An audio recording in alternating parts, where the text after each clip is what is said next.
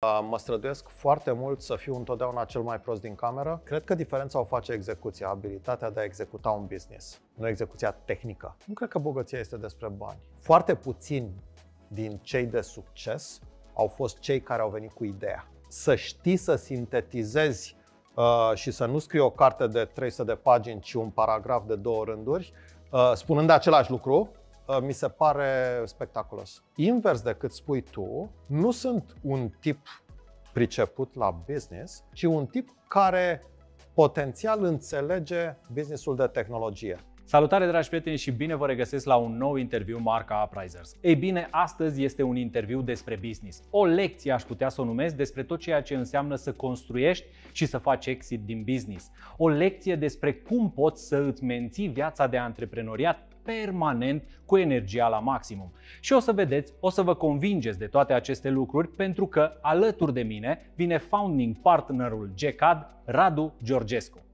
Dragi prieteni, așa cum v-am promis, alături de mine Radu Georgescu, founding partner la Jack Adventure. Te salut Radu și mulțumesc că ai acceptat invitația noastră. Salutare! Eu mersi mult de tot, super fan să fii aici. Băi, abia aștept, pentru că am așa A. multe uh, întrebări pentru tine și multe curiozități. Cred că dincolo de întrebări aș putea să le spun curiozități uh, din lumea de business, din tot ceea ce înseamnă să reușești în business. Iar tu ești un, uh, aș putea să spun, un exemplu cât se poate de concret în acest, din acest punct de vedere. Cel mai exemplu. Ia da, zice, dar până să ajungem acolo, Radu, vreau să ne spui, pentru că eu am făcut tot ce ține de documentare despre. Oamenii te știu din zona de online, te-au văzut în interviuri, în podcasturi, au citit interviurile tale.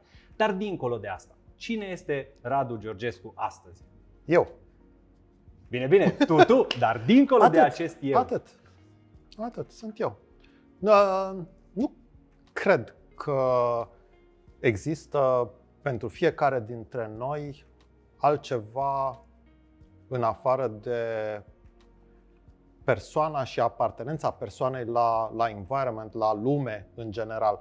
Uh, nu, nu mă simt în niciun fel uh, mai mult decât o persoană.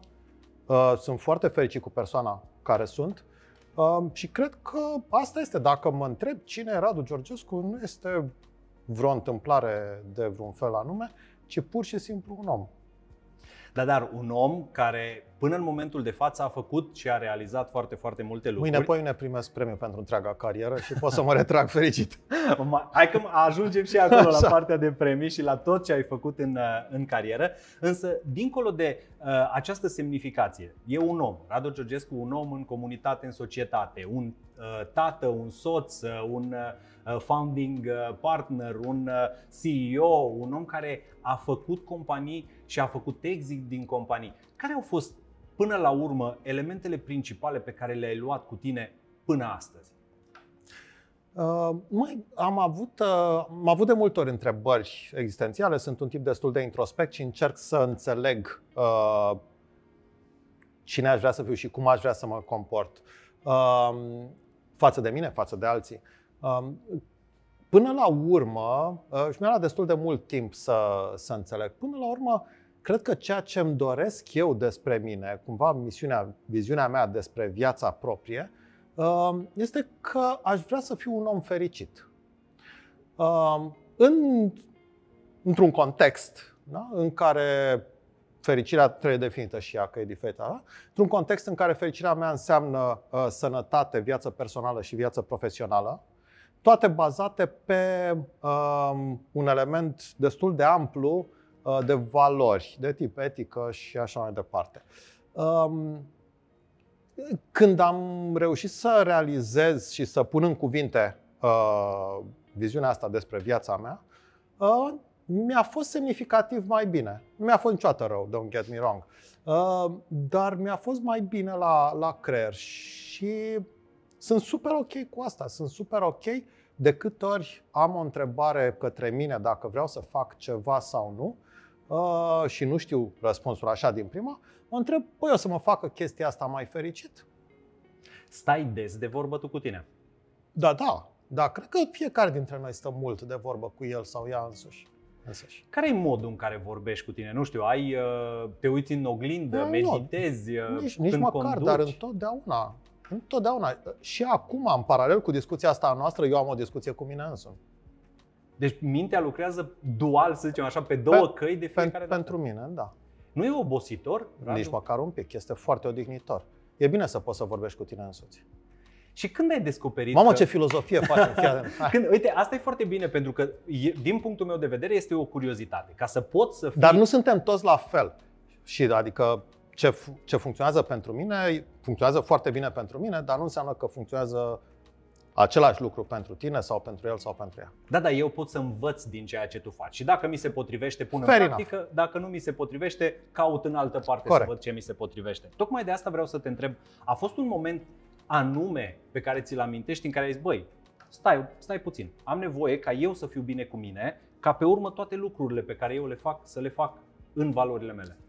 Nu, nu am avut momente. Uh, Viața mea a fost mult mai fluidă uh, și mai constantă. Nu am avut momente de ruptură în care să am nevoie de reset. Deci tu nu ai nevoie de momente în care să te Nu. încarci cu energie, ești permanent uh, Da. la full uh, uh, potențial. Te întrebam înainte de a începe acest interviu, cum faci să ai așa mult timp liber? Pentru că ai o grămadă de activități și ajungem imediat și la activitățile respective, plus ai o viață personală în care ești implicat foarte mult și cu toate astea ai așa uh, energia asta de care tot vorbeam să fii prezent oricând, oriunde vrei. Da, mie, mie mi se pare că nu este despre cât de mult muncești, ci despre cât de eficient muncești. Mi se pare că lucrurile se pot face uh, în 24 de ore sau în 15 ore sau în 2 ore. Același lucru. Știi, era, este de fapt Și, o și, e- vorbă. și este, scuză-mă, este despre eficiență, este despre abilitatea de a construi obiectivele corect, pentru că aș putea, da, dacă vreau să mut apă din punctul A în punctul B, aș putea să mă apuc să sap 20 de canale și să uh, muncesc atât de mult, sau pur și simplu să pun o țeavă pe deasupra sau un furtun. De- Deci con- uh, contează foarte mult cum reușești să îți construiești în cap, să, să înțelegi care e nevoia și să construiești corespunzător soluția optimă. Și de ce abilități ai nevoie să faci treaba asta? Uh, Cred că principala abilitate și este abilitatea pe care o și respect cel mai mult este abilitatea de sinteză. Să vezi exact A, a, a, Ce a, este? analiza și sinteza este, uh, e, e, mi se pare extrem de importantă. Cred că să știi să sintetizezi uh, și să nu scrii o carte de 300 de pagini, ci un paragraf de două rânduri, uh, spunând același lucru, uh, mi se pare spectaculos. te scutește de foarte mult efort și foarte mult timp până la urmă, nu? Și te aduce la o înțelegere semnificativ mai bună, mai corectă asupra fenomenului. În cât timp poți să faci sau de câte ori ai nevoie să greșești până când aliniezi această sinteză și uh, analiză să fie cea bună? Habar n-am. Uh, Eu plec întotdeauna uh, când fac cât un astfel de exercițiu pe ceva important, uh, am nevoie de un număr foarte mare de iterații. Foarte mare. Adică cu cât e mai important și cu cât îmi doresc un rezultat mai bun, uh, nu știu, uh, mă întorc la partea de business, la decuri de investiție în care prezinți un business ca cineva să vrea să investească. Uh, ai la dispoziție 5 minute din, din atenția uh, partenerului în care trebuie să-l convingi să investească prezentându-i sâmburele ce este mai important din business tău. Să vii să fii în stare să spui cel mai important lucru, acel sâmbure uh, al businessului tău, să-l definești atât de succint, uh, este foarte, foarte greu și cu cât businessul este mai al tău, cu cât ești mai implicat emoțional, cu cât ești mai uh, implicat cu totul în business, cu atât este mai greu să, să, să sintetizezi uh, esența. Și ai posibilitatea să faci acest lucru când ești acolo, cum spuneai și tu, 100% în businessul respectiv. Uh, ai, ai ceva, nu știu, folosești o anumită metodă ca să poți să te uh, dai uh, un pas în spate, să prezinți și să găsești acea esență sau pur și simplu exercițiu te face să poți să, să, să sintetizezi la modul de care spui? M- Mie, pentru mine și totul, toată discuția noastră e cu disclaimer că este ce mi se potrivește mie. Nu, nu am vreo pretenție că dețin adevărul absolut. Uh, La mine funcționează foarte bine alegerea partenerilor de discuții. Uh, mă străduiesc foarte mult să fiu întotdeauna cel mai prost din cameră uh, și să, să fiu întotdeauna înconjurat de oameni mai deștepți decât mine, de oameni care să, să fie în stare să-mi spună nu ai dreptate, ești uh, prost, ești pe lângă cu problema, uh, așa este mai bine. Da? Uh, da, trec după aceea prin filtre, uh, filtrele proprii, uh, dar mă străduiesc să, să, să, prim, să discut și să primesc în permanență uh, ce nu este bine la ceea ce fac, la ceea ce gândesc, la ceea ce prezint. Spuneai că e bine să te înconjori de oameni mai deștepți ca tine, mai ales atunci când uh, ai nevoie să iei anumite decizii sau să implici în businessurile pe care le coordonezi sau le ai. E greu să găsești oamenii ăștia care să fie alături de tine și care să rămână. Ei sunt peste tot. Ei sunt peste tot. Prietenii sunt în jurul nostru. Avem o abilitate extraordinară de a îndepărta prietenii care ne spun adevăruri care nu sunt plăcute. Păi și ce facem? Să acceptăm adevărurile prietenilor ca să putem Doamne crește? ferește! da. E dureros să faci treaba asta de cele mai multe ori dacă nu ești pregătit să scalezi. Și asta nu spun uh, o, și din propria experiență, dar o spun și din ceea ce văd în jurul meu. Când vine cineva și spune, băi, ascultă, parcă dacă nu ești pregătit să asculți cu adevărat sugestia respectivă, e așa ca, uh, știi, bățul băgat prin uh, bicicletă, băi, nu, ai tu un interes ascuns. Cum facem să nu mai vedem această parte pe care noi ne-o imaginăm, frica aceasta de a crește și să găsim uh, minusurile în lucrurile pe care de fapt noi ar trebui să le luăm să ne ajute? Nu știu. Ai avut parte de așa ceva? Adică ai avut momente în care să crezi că nu a fost uh, de ajutor sfatul, ci pur și simplu dat așa? Uh, cred că fiecare dintre noi are momente de uh, să ne simțim Dumnezeu, uh, care este de fapt uh, problema. Um, da, te duci, te culci, te scoli a doua zi dimineață cu o noapte mai înțelept. Și vezi uh, cum începe ziua din nou, uh, Da, noi, da. nouă zi, nouă, noi decizii, nu? Da.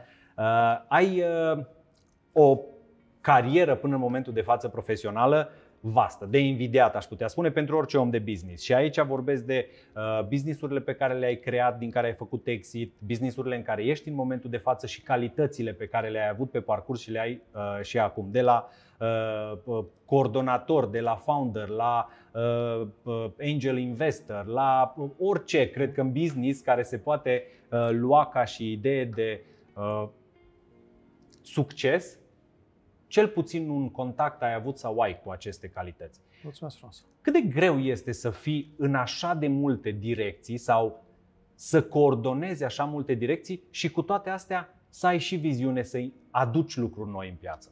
Um, nu am fost niciodată implicat operațional în companii. Nu am fost niciodată director general în companii.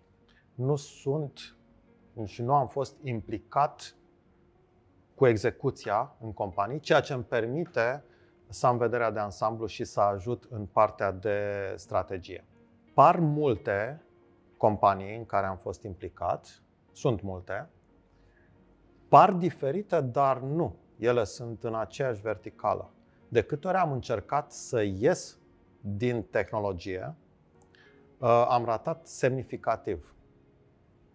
Uh, orice încercare de business care a ieșit din această verticală extraordinar de îngustă, tehnologia, da? Uh, au fost ratări semnificative în care, care, care mi-arată că, invers decât spui tu, nu sunt un tip priceput la business, ci un, ci un tip care potențial înțelege businessul de tehnologie. Înțeleg că sunt foarte multe alte businessuri pe care nu le înțelegi de câte ori m-am atins de ele, le-am ratat. Mă uitam și 100%, adică 100% orice am încercat altceva decât tehnologie am ratat. Deci procente statistic vorbind semnificative. Asta, asta voiam să te întreb. Ai fondat 37 de Da. companii. Sper că cifra este una da, uh, da. cât se Sid poate de Blink corectă. este numărul 37. Exact, 37 de companii, uh, din care citeam că ai spus la un moment dat într-un interviu, uh, vreo 6-8 au fost uh, n-aș, nu le-aș numi eșec, ci ceea ce ai spus tu adineauri. Cred, cred că mai multe. Au fost șase succese, vreo 10 din care n-am pierdut chiar toți banii și rest, restul au fost uh, Aproape 50% da, dacă e da, să... da, lecții extraordinare. Ce ai luat ca și cea mai importantă lecție dintr-un, hai să-i spunem așa, eșec Oh. oh. dintr-o companie? Nu, n- n-aș, n-aș pune o lecție cea mai importantă, dar, Câteva da, lecții da, avem. sunt, sunt lecții. De la, din fiecare am învățat și am învățat semnificativ. Uh, am am învățat că este nevoie de un studiu de piață, am învățat că oamenii, uh, în afară de a fi prieteni și parteneri, uh, sunt, sunt resursa cea mai importantă a unui business.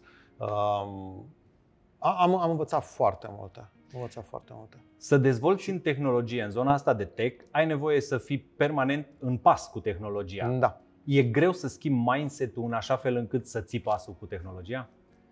Uh, cred că asta diferă de la persoană la persoană. Cunosc oameni care sunt nativ, uh, în- înțeleg nativ orice schimbare de tehnologie la orice vârstă uh, și oameni care nu o înțeleg in their face, așa. Uh, deci oameni care nu știu să apese pe butoane să aprindă luminile uh, și oameni care pur și simplu încep să programeze fără să știe limbajul respectiv. Uh, nu. Nu, nu pe, pe, pentru mine, eu, eu sunt fix la jumătate între astea două. Înțeleg tehnologia, încep, înțeleg schimbările tehnologice, îm- mai degrabă mai mult în strategic și în efectele globale uh, și mai puțin în programare. Programez în continuare, dar n-aș spune nici măcar că sunt un programator mediu necum bun. Cât de mult vine peste noi? Și avem clar până în ziua de astăzi exemple cât se poate de concrete despre ce înseamnă tehnologia, ce înseamnă această inteligență artificială și cum ne poate ajuta în businessul pe care noi îl facem. Uh, Ne afectează sau ne ajută? Cine? Tehnologia, dezvoltarea, Tehnologia. uh, uh, tot ce se dezvoltă, tot, tot ceea ce vine nou din punct de vedere tehnologic înspre munca pe care noi o uh, facem de zi cu zi. Păi povesteam despre tehnologia camerelor de filmat când acum 10 ani, 15 ani, erau camerele cu beta de ne cocoșau și uh, trebuia să schimbăm casetele de foarte multe ori și acum sunt cămăruțele astea care știu să filmeze semnificativ mai bine. Um, eu cred că ne ajută tehnologia. Știm să profităm de ajutorul tehnologiei? Asta este altă întrebare. Cred că dacă reformulez atunci răspunsul la prima întrebare. Cred că dacă știm să profităm de avantajele tehnologiei, tehnologia ne ajută. Și acum în acest avânt al tehnologiei, un avânt tehnologic, trecem la, uh, nu știu, industrie 4, 5.0, la cât, uh, la cât suntem în momentul de față, uh, avem nevoie să schimbăm. Ne-am obișnuit cu ceva, imediat vine ceva nou și avem nevoie să ne adaptăm foarte, foarte repede. Este aceasta o abilitate în care poți să fii cu un pas înainte? Să te adaptezi la noile tehnologii într-un mod constant, permanent, în timp ce faci business? Trebuie să faci chestia asta, că altfel mori, ca business. Uh, Dar asta s-a întâmplat în permanență și noi uităm că mai întâi au fost oameni care spărgeau lacul cu gheață și păstrau gheața și vindeau frig vara vânzând gheață, ceea ce s-a transformat în distribuția de frigidere. Până la urmă a fost o schimbare absolut majoră. Uh, Sunt multe business-uri de, de, de generații de vândut gheață care au dat faliment pentru că n-au înțeles că sunt în businessul de frig, ci credeau că sunt în businessul de gheață. Uh, A apărut trenul care a înlocuit căruța, uh, a multe, multe, Revoluția multe, multe. industrială. Până la Revoluția industrială. Um, Da, se întâmplă în continuare, s-a întâmplat mii de ani, se întâmplă în continuare, business-uri o să moară care nu reușesc nu mai departe decât Kodak, care a fost ce a fost și este cine este. Um, business-uri mor, alte business-uri se inventează.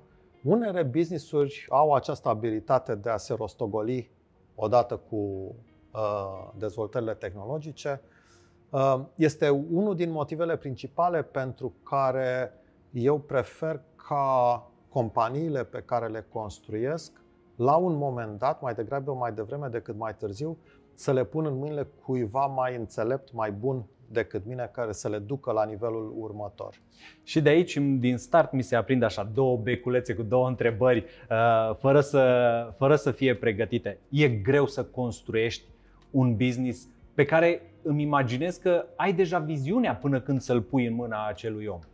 Sau pur și simplu îl construiești și vezi pe parcurs cât poți să-l crești. Cred că un business nu se construiește de la început în direcția de a-l vinde. Cred că ideea principală este ca un business să fie construit bun, să fie un business bun, un business care să facă o schimbare în lume, să fie un business care să însemne ceva, un business care să aducă valoare uh, clienților, celor care îl folosesc.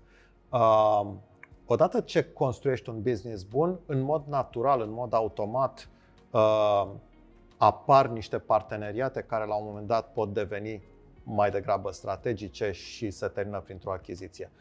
Uh, cred că dacă construiești un business pentru a-l vinde, uh, sunt mai multe șanse să-l ratezi uh, și să construiești un crappy business. Și cât de greu este să faci exit dintr-un business, să-l pregătești pentru. Ești în acel moment în care, cum ai spus tu, e momentul în care îl dăm în mâna uh, altora. Cât de greu este să pregătești acest, uh, această tranziție de la al tău la exitul pe care îl faci din business? Din nou, da, dacă businessul este bun, dacă este bine construit, dacă face acele schimbări pentru, pentru lume, dacă servește clienții uh, corespunzător, uh, tranziția este painless și absolut naturală. Nu, ne, zero probleme.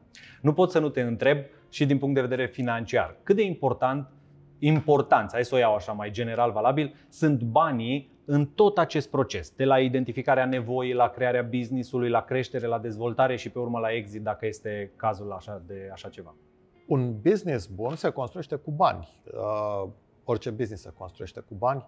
Uh, puține sunt exemplele de business-uri care au fost create din nimic financiar vorbind. Uh, deci, da, sunt partea, partea întâmplării. Există vreo șansă sau vreo posibilitate în care să ai o idee extraordinar de bună, să nu ai posibilitatea financiară să o pui în practică și totuși, până la urmă, cumva, prin, nu știu, uh, anumite oportunități de care profit, profiți, uh, să poți să pui, să, să dai acea idee, să-i dai o formă acelei idei. Eu nu cred că în ziua de astăzi este despre idee. Eu nu cred că valoarea unui business este într-o idee. Cred că ideea avem cu toții, câte 20, de când ne sculăm dimineața până ne sezăm pe wc între pat și baie, cred că avem câte 20 de idei fiecare, una mai bună ca cealaltă. Um, cred că diferența o face execuția, abilitatea de a executa un business, nu execuția tehnică, execuția de business.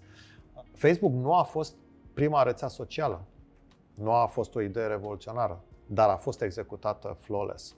Microsoft, uh, MS-DOS, Microsoft nu a venit cu primul sistem de operare, exista deja CPM, da? dar a avut o execuție de business semnificativ mai bună. Um, și așa mai departe. Nimeni, nu nimeni, foarte puțini din cei de succes au fost cei care au venit cu ideea. Majoritatea celor de succes sunt cei care au venit cu execuția spectaculos de bună, excepțională. Uh, și asta, evident, mă face să nu pot să nu te întreb care sunt, hai să-i spunem, maturile unui om care poate să pună uh, această viziune. Ideea, da, nu uh, este cea mai importantă, dar să pui structura businessului de care spuneai tu. Uh, de, deci nu este despre om. O idee poate fi a unui om, dar nu e despre idee, este despre execuție. Execuția nu este a unui om, este a unei echipe. Um, și dacă vrei să rezumi totul la un om, este despre abilitatea persoanei respective de a construi o echipă în care lumea să fie, pe de o parte, senioară și, cunosc, și să, să înțeleagă, să știe cum se întâmplă, pe de altă parte, aliniată și, pe de altă parte, extrem de abilă în a uh, negocia, într-un sens pozitiv, uh, ce credem fiecare că este bine.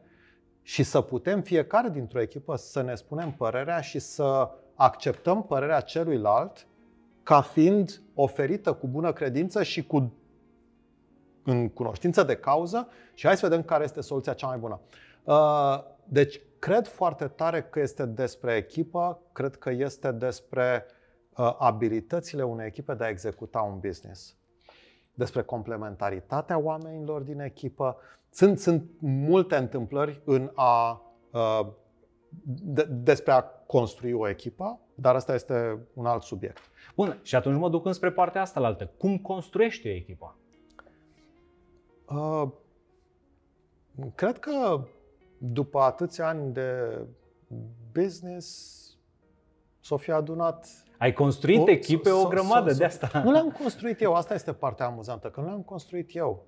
Deci, uh, în principiu, eu ce fac este mă ocup mai degrabă de partea strategică și de înțelegere a environmentului, a business-ului, a misiunii uh, și în permanență am avut colegi care au fost director general și care s-au ocupat de construcția echipei și de execuția de business a echipei. Deci, dacă pui cap la cap lucrurile pe care le-am spus, este despre execuție. Execuția este despre echipă, eu nu construiesc echipa, nimic din ce mi s-a întâmplat, nu, nimic din succesele, niciunul din succesele care mi s-au întâmplat, nu sunt datorită mie. And that's true. Deci totul se duce de la uh, viziune și echipă încolo. Tot, totul este dincolo de mine. Și existența mea acolo este într-un fel datorată unui noroc, datorată unor minime abilități de leadership, um, de leadership de genul uh, ciobonașul cu fluierul, știi? Adică, ok, hai să facem, facem, știi? Um, dar uh, nu cred că este despre niște abilități extraordinare pe care le-aș potențial avea. De ce eșuează antreprenorii? Uh, pot să spun de ce am eșuat eu de 20 de ori din fiecare dintre ele. Pentru greșeli. Uh, și principalul lucru, uh, statistic vorbind, o companie moare când nu mai are bani. Este singurul motiv pentru care. Dacă vrei să intrăm mai departe în statistică, întrebarea este de ce nu mai ai bani. Exact, cum faci să ajungi să nu mai ai bani. Cum, fa- cum faci să nu mai ai bani. Uh, dar motivul principal este să ai bani. Dacă găsești orice fel de... Deci trebuie să existe în permanență în companie cineva care să se ocupe de a ține cufărul plin cu bani. Um, de aici încolo, uh, motive de a se termina banii Uh, sunt din toate felurile. Neînțelegerea pieței, uh, produs construit greșit, uh, o, o relație greșită cu publicul țintă. Sunt multe echipe putrede pe dinăuntru cu probleme sunt, sunt, sunt atât de multe, sunt un milion și sunt, s-au scris un milion de cărți pe, pe temele astea, nu sunt eu cel mai potrivit să povestesc. Da, da, părerea ta pentru noi contează și mm. uh, cu siguranță din uh, experiența și din istoricul tău de business, clar avem lucruri de învățat. De, de, de, și eu încerc să scot, și scuză-mă, uh, încerc să scot lucruri care pentru noi, exact cum spuneai, păi mă uit, ce a făcut Radu? Păi uite, a greșit, dar hai să vedem mie mi se poate întâmpla treaba asta? Deci dacă, dacă este să sintetizăm la un singur punct, este țineți firma finanțată. Ține bani în firmă, să existe bani în firmă. Firmele mor pentru un singur lucru și anume pentru că se termină banii. Și asta înseamnă educație antreprenorial financiară, asta înseamnă cash flow, asta înseamnă să fii permanent acolo, să un, vezi ce se înseamnă întâmplă. un milion de lucruri, da, în spate. Adică pare simplu, da. Cum faci să le înveți pe toate? Pentru că nu nu, vii nu cu toate abilitățile Nu cred din că trebuie să le înveți pe toate, cred că trebuie să înveți ce ți se potrivește, cred că trebuie să știi ce știi și mai ales să știi ce nu știi și să te înconjori de oameni care știu chestiile pe care nu le știi tu. Cred că dacă vrei să înveți să le știi pe toate, ajungi un patron. Dacă reușești să înțelegi ceea ce știi și ceea ce nu știi și te înconjori de oameni care știu ce nu știi tu, uh, ajungi un antreprenor. Deci până la urmă, antreprenorul se dezvoltă bazat și pe oamenii pe care Căci, și așa cum ziceam, este despre echipă, nu despre un om. Există vreun lucru pe care poți să ți-l asumi și să zici, da, aici sunt doar eu și am făcut lucrul acesta doar eu? În care să nu existe o echipă, să nu existe un Nu. sistem, să nu existe ceva? Nu, nici măcar copiii nu i-am făcut singur. Aici aveam câteva întrebări pentru De- tine deci dacă îmi deci spuneai. nu. Uh, nu, nu cred că există ceva, nimic în viață despre care să pot spune, despre care să-mi doresc să pot spune că am făcut doar eu. Aș vrea să revin puțin la partea de tehnologie și de ce vreau să fac treaba asta? Pentru că și tu ai fost uh, un, uh, un, hai să-i spunem așa, un early adopter, dacă se poate, vis-a-vis de tot ceea ce înseamnă criptomonedă. A fost momentul nepotrivit pentru criptomonedă sau mai avem nevoie să ne pregătim pentru așa ceva? Și bine, vorbesc la uh, acum 10 ani de zile, da? Uh, ca să luăm momentul de pornire. Sau a fost momentul oportun încă se mai aș- și încă se mai așteaptă această creștere ca să se maturizeze într-un mo- fel sau altul piața? Uh, nu- nu am fost niciodată adeptul criptomonedelor. Uh, am fost în permanență și sunt în continuare adeptul blockchain-ului, tehnologiei de blockchain. Cred că cript- criptomoneda, în general, este o problemă. Cred că Bitcoin, în particular, este un index al industriei de blockchain. Cred că blockchain este o tehnologie absolut extraordinară în căutarea unei probleme pe care să o rezolve.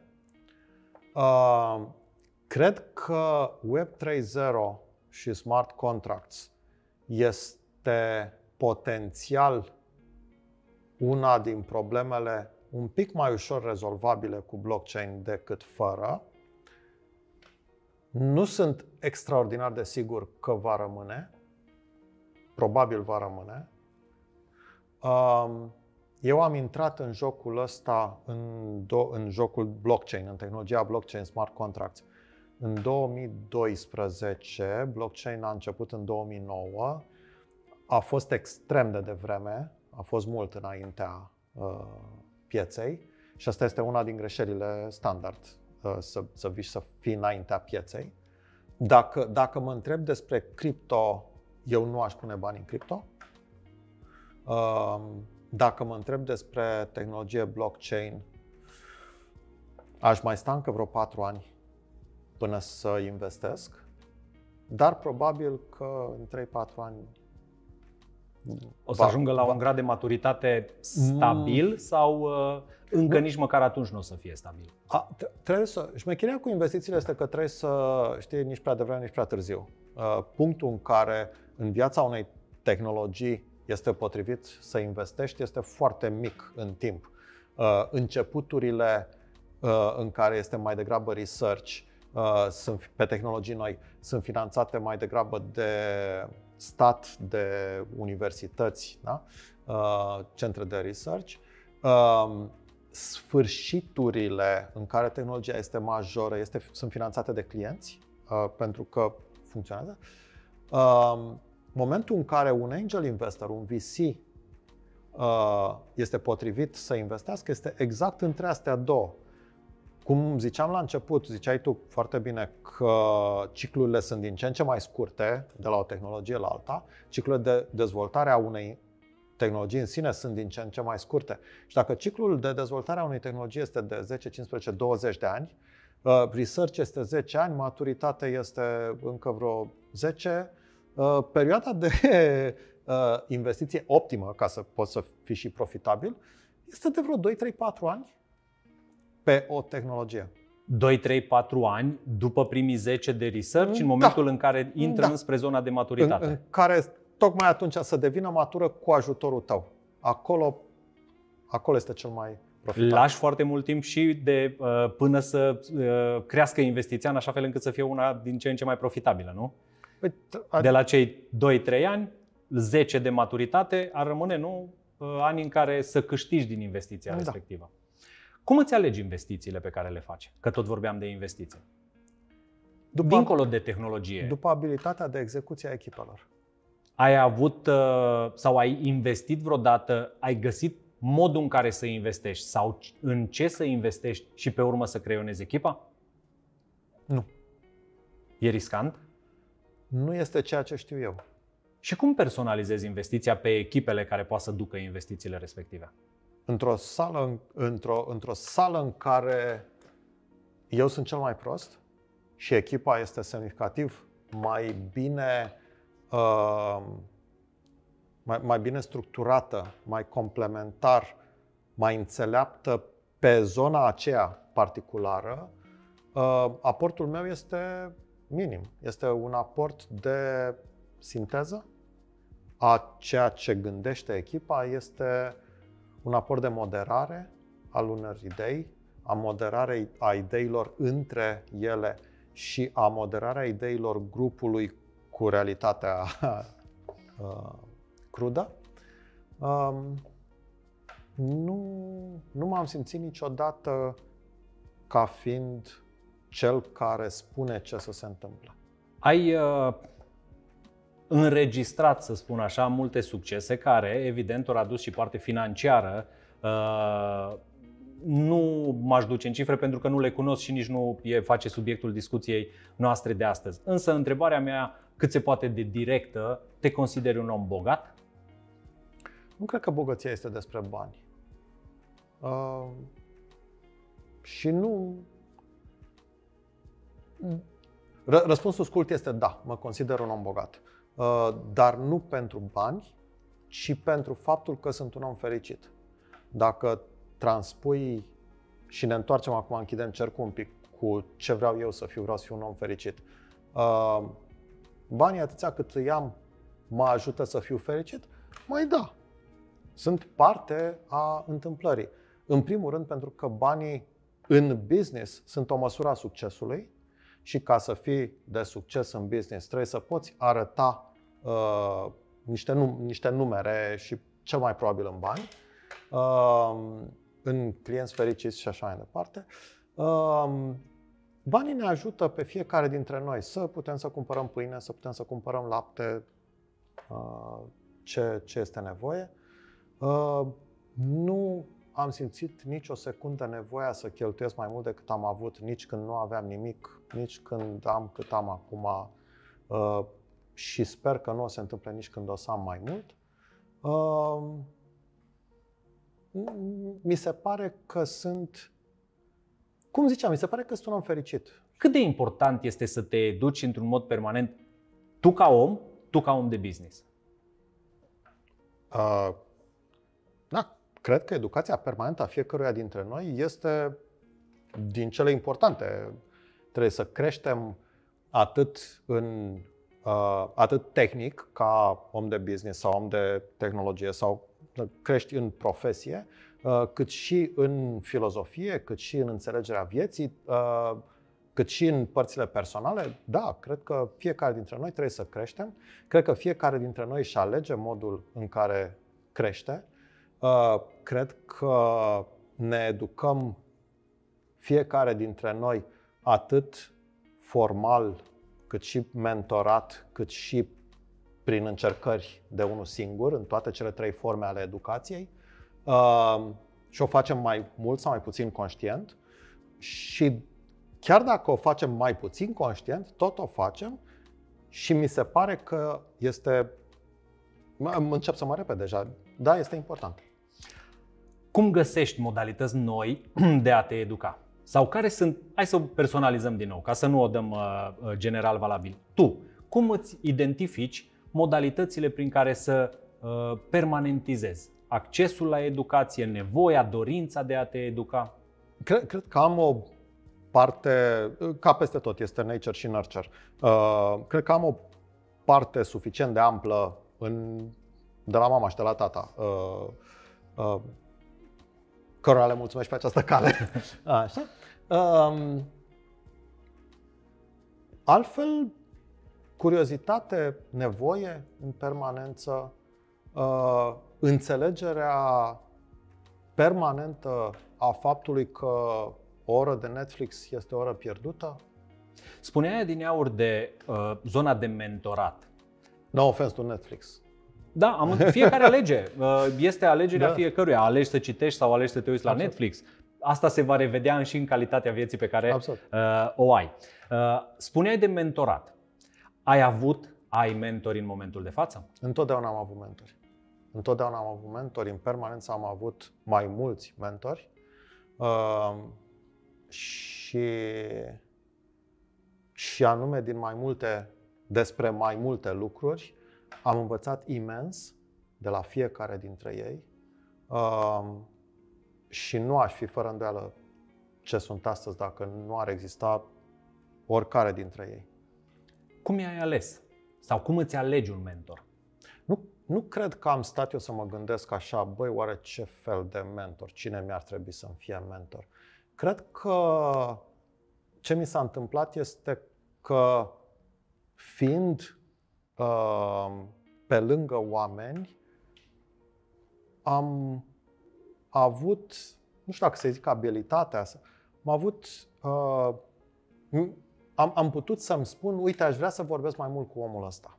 Uh, și nu a fost niciodată, nu a fost un mentorat formal. N-am avut la modul, te rog frumos, poți să fii mentorul meu? Nu, dar am încercat din ce în ce mai mult să discut cu persoana respectivă și mi-a devenit de facto, nu de jure, uh, mentor.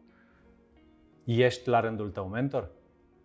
Asta ar trebui să spună cei cu care discut. Mentor nu ești pentru că vrei sau pentru că ești formal, ci, ci dacă cineva consideră că învață ceva de la tine.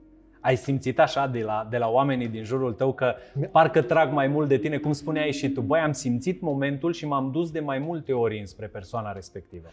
Mi-ar, mi-ar place să sper că da. Mi-ar place să sper că da. Mi-ar place să...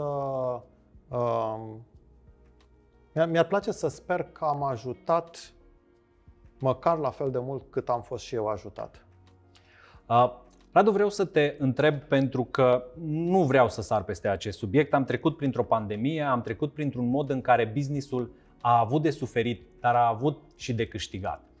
Inovația și adaptabilitatea au fost cele care i-au făcut pe oameni să crească în această perioadă și cei care nu au avut parte de ele să pună lacătul? Sau mai sunt și alte aspecte pe care, uh, nu știu, antreprenorii în aceste situații de criză ar trebui să le aibă în vedere?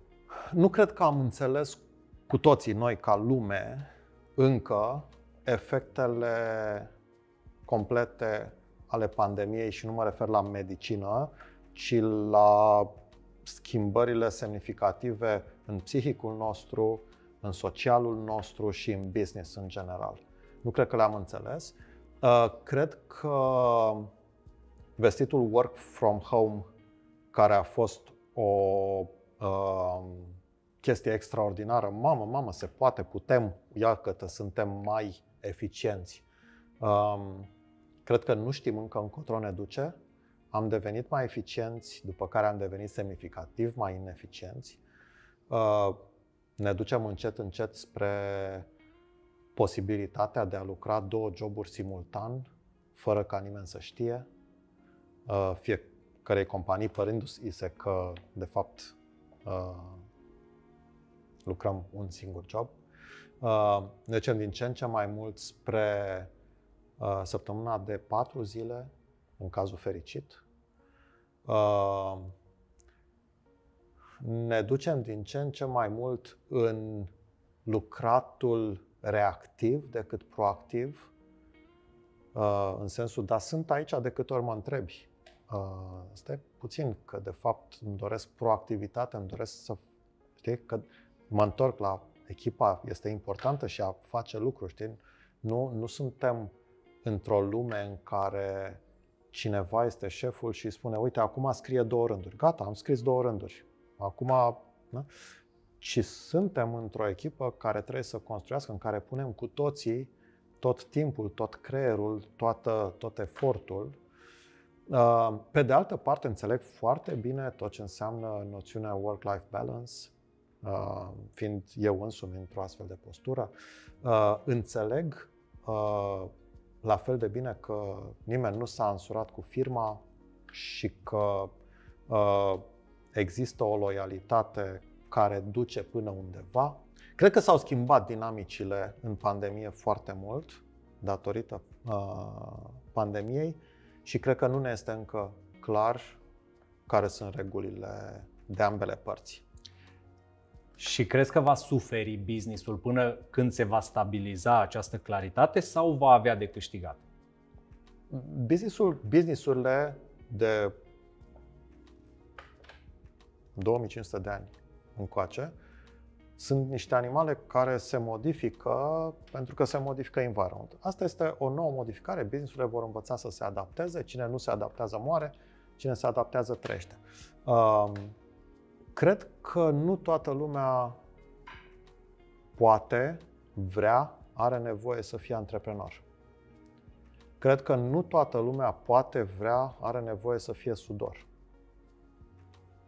Cred că unii oameni vor să fie jurnaliști și adică that's what they are. Unii oameni vor să fie antreprenori, uh, alți oameni vor să crească flori, poate unii vor să fie fermieri. Nu cred că este cea mai bine sau mai rău, nu cred că este un obiectiv din hai să fim antreprenori. Cred că cel mai rău este să fim ceva ce nu suntem făcuți pentru. Cred că dacă eu aș fi un om cu o aversiune la risc semnificativă, antreprenoriatul este o întâmplare cu un risc maxim, da? Um, deci dacă aș fi cineva cu o aversiune la risc foarte mare, căsătorit, cu doi copii, să știu că la sfârșitul fiecarei luni trebuie să am salariu. Ar trebui să nu vreau să fiu antreprenor. Ar trebui să mă uit la emisiunea asta și să spun, prietene, lasă-mă în pace. Ar trebui să-mi găsesc de lucru cât mai bun la o multinațională, dacă sunt programator, la, nu știu, undeva. Da? Un antreprenor nu este neapărat că câștigă mai mult decât un angajat. CEO-ul lui Google nu este antreprenor, este un angajat. Și câștigă binișor. Deci, a fi antreprenor nu cred că este un obiectiv în sine. Dar cum îți dai seama de acest lucru? Uh, încercând. Încercând. Um, eu am un, uh, am un program, um, jurnal de antreprenor în licee. Um, merg și vorbesc cu copii, în general, de clasa 11 și a 12 din top 2 licee din capitalele de județ. Um, și mă străduiesc cam o dată la 2 ani să le ating pe toate. De multe ori mă întreabă, băi, dacă ar fi să-mi spui un lucru, care este lucrul ăla? Dacă ar fi să mă împingi la unul singur. Oh, unul singur e puțin, da, bine. Dacă este să fie unul singur, sugestia mea este încercați. Eu cred că uh, educația în sistem Bolonia, în care intri într-o școală, intri ca într-o țeavă așa și te duci la o facultate și la o facultate și ești pe capul altul, ai dat la medicină la 18 ani, frate, la 26 de ani ești medic. Nu există alternativă. Poate am încurcat eu ani. Fiecare copil din noi este dator față de el însuși să încerce lucruri și să rateze, să încerce să cânte, Poate îi place, poate nu îi place. Să meargă pe munte, poate îi place, poate să se facă cățărător, să facă un business, să facă croitor, să se facă, uh, nu știu, influencer. Da? Să facă lucruri și să rateze, să rateze, să rateze. Acum, cu cât ratezi mai de tânăr, mai de mic, cu atât e mai bine. Că ai ratat, a, nu-mi place, mulțumesc, la revedere. Dar cred că să încerci și să ratezi lucruri, să să ratezi o companie, să vezi ce înseamnă să, să, să fail, să uh, dai cu ea de pământ. La sfârșitul zilei să încerci să bei, să încerci să fumezi, să încerci lucruri. Majoritatea, după părerea mea, copiilor nereușiți, care ajung adulți nereușiți, sunt cei care nu au încercat. Cred că încercarea de multe lucruri cercarea controlată ca să nu cazi, să nu, să nu spargi capul. Să cazi de cât mai multe ori fără să spargi capul. Și cred că șmecheria principală a părinților, și asta este complet dincolo de business și de uh, discuția pe care am încercat să o avem astăzi, cred că principalul atu pe care îl poate da un părinte copilului este să-l ajute să cadă de cât mai multe ori fără să spargă capul. să fie plasa de siguranță pentru el, uh, asigurându-i spatele, uh, nu să-l ghideze 100% spre ceea Nu. ce vrea să facă. Asta are nevoie și un antreprenor. După ce ai ajuns acolo, în zona de antreprenoriat, ai decis, ai aflat, îți place, riscul de a fi antreprenor, ca să reușești, ai nevoie să și uh, dai de pământ, Ai nevoie să dai de pământ, este foarte greu să ai plase de siguranță. Și cel mai probabil nu ai. Deci în antreprenoriat nu există un mami și tati. Nu prea. Și atunci uh, riscul trebuie să fie minimizat.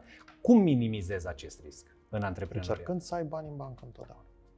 Deci banul, până la urmă, cum spuneai uh, mai devreme, Companiile mor pentru un singur lucru și anume pentru că nu mai au bani. eu aș putea să o iau asta ca pe un sfat și dacă îmi permiți, uh, mă adresez și celor care ne urmăresc, spunându-le în felul următor. Companiile mor din lipsă de bani. Unul din motivele importante Singurul motiv pentru care o Singurul. companie moare este că se termină banii. și atunci Nu există niciun alt motiv. Există multe motive pentru care se termină banii, dar singurul motiv pentru care o companie moare este că se termină banii. Este, cred că, prima dată într-un interviu când o aud într-un mod așa asumat și așa direct spusă această cauză singulară a, uh, nu știu, uh, morții companiei, să, dacă tot folosim în continuare același uh, termen. Și atunci, știu că tu nu dai sfaturi. Și asta am, străduiesc, da. uh, am citit-o și am zis, băi, nu o să-l rog pe Radu să dea niciun sfat.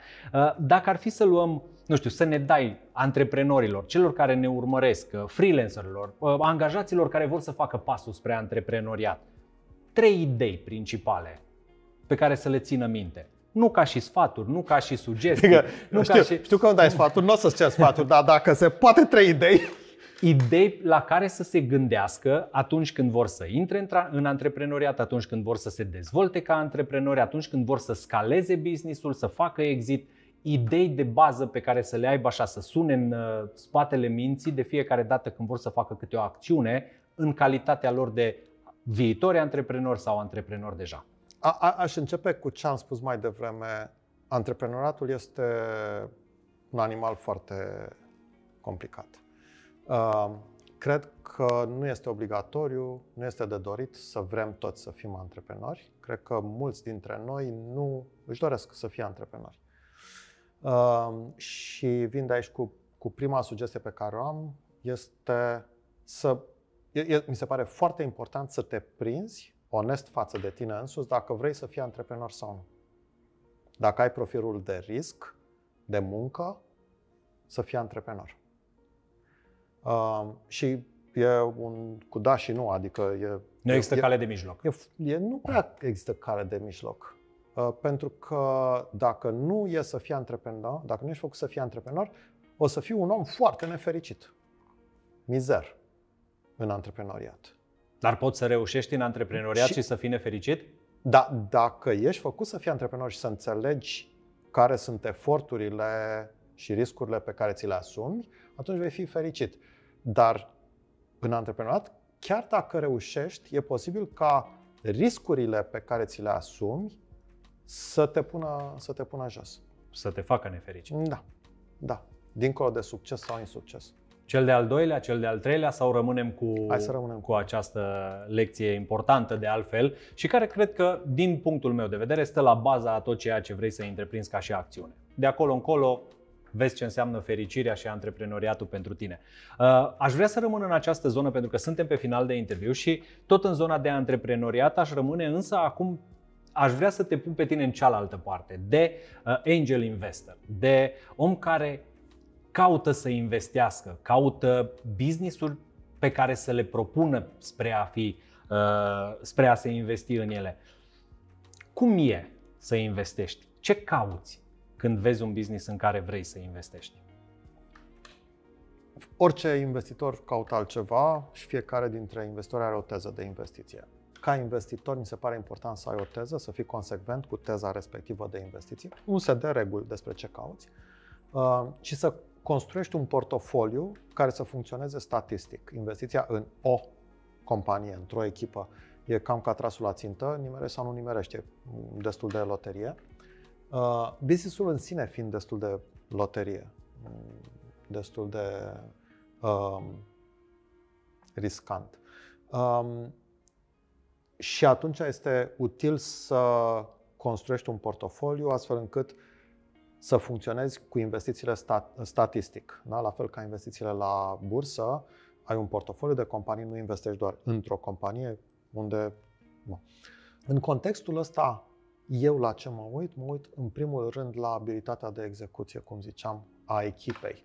Mă uit dacă uh, compania respectivă are o echipă de founderi, de management uh, completă în, în contextul în care are nevoie de abilități financiare, de business, de uh, tehnologie, de, de, de, de, de da?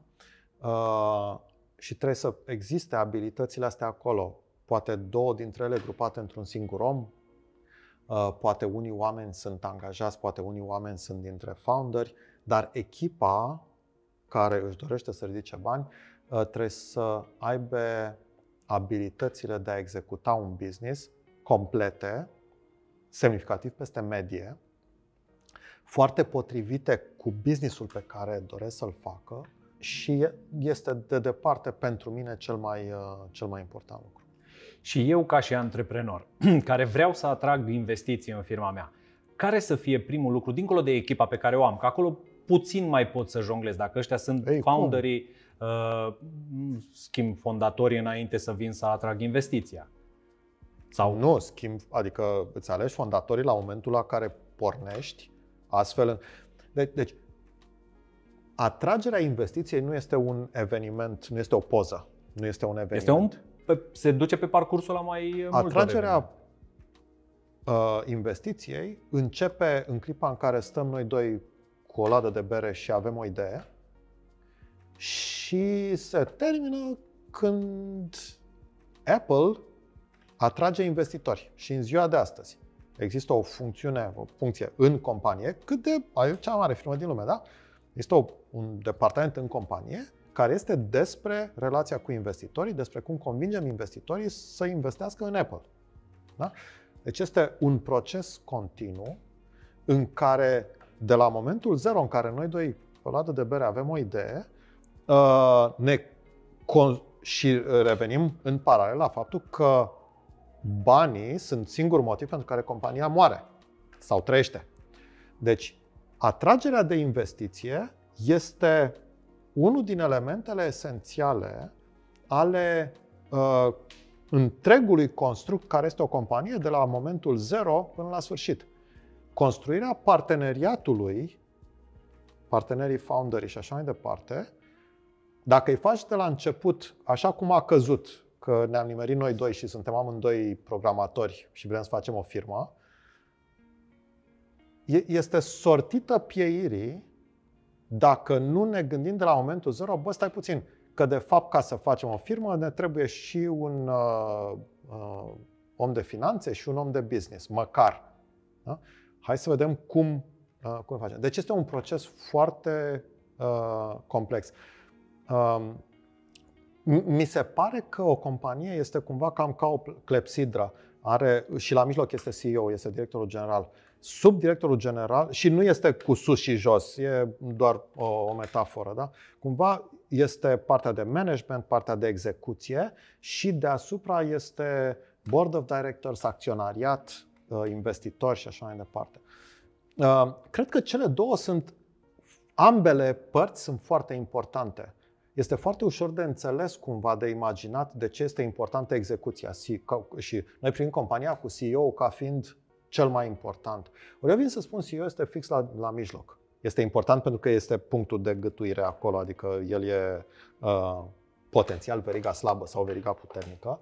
Uh, dar în partea de acționariat, în partea de equity a companiei, lucrurile care se întâmplă sunt la fel de importante ca în partea de execuție. Și uh, de asta uh, și, și noi acum cu, cu produsul lui Seedblink, cu Nimity, uh, asta, asta facem, dăm putere părții astea de, de equity um, și deci când îți construiești echipa, nu o construiești Uh, acum vreau să fac produsul, suntem noi trei programatori, acum mă duc să iau bani, aulă, trebuie să pun și un director uh, financiar, hai să la cine mă uit în jur. Da? Uh, ci, în principiu, compania. Nu este, nu este niciun investitor care să investească în poze. Investitorii investesc în filme. Este din uh, companiile în care ai investit una care să, nu știu, să-ți fie mai dragă decât altele? Uh, nu cred că este despre drag. Cred că este despre succes. Uh, și sunt companii care au avut mai mult succes, sunt companii care au avut mai puțin succes. Deci emoția în investiții ar cam trebui lăsată deoparte. Înțeleg. în investiție, cred că emoția strică. Scade randamentul. De exemplu.